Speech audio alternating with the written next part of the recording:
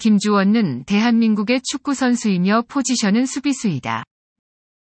현 제주 유나이티드에서 활약하고 있다. 2019년 김준수에서 개명하였다. 김준수는 포항 스틸러스 유소년팀 산하의 포항제철중학교, 포항제철공업고등학교를 거쳤으며 2010 K리그 드래프트에서 포항 스틸러스에 우선 지명되었다.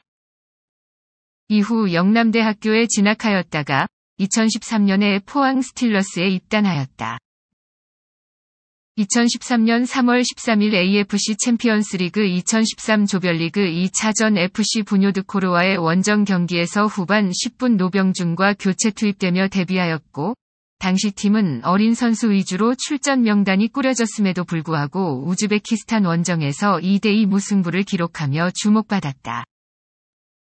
K리그에서는 5월 26일 13라운드 대구 FC와의 경기에서 후반 42분 교체 투입되며 처음으로 그라운드를 밟았고 6월 1일 14라운드 제주 유나이티드 FC와의 경기에서 처음으로 선발 출전한 데에 이어 데뷔골까지 기록하며 팀의 승리를 이끌었다.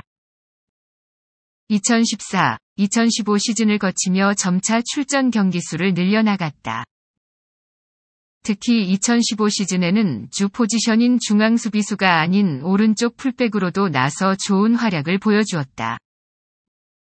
2017 시즌을 앞두고 전남 드래곤즈와의 2년 계약으로 이적하였다. 2016년 11월 5일 기준 시청해주셔서 감사합니다.